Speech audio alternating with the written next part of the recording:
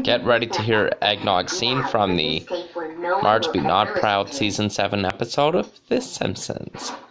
Homer, didn't you get any milk? All I see is eggnog. Tis the season, Marge. We only get 30 sweet, noggy days. Then the government takes it away again. I think I'm having chest pains. Bart, get your suit on. What for? We're getting our Christmas picture taken. Well, you Marge, my man, 'cause I'm in a smiling mood today. oh, good. So get ready, and before you know it, we'll be at the Try-N-Save. Try and save. Oh, my teapots are ready. If you ever set foot in this store again, you'll be spending Christmas in Juvenile Hall. Juvenile Hall. Juvenile Hall.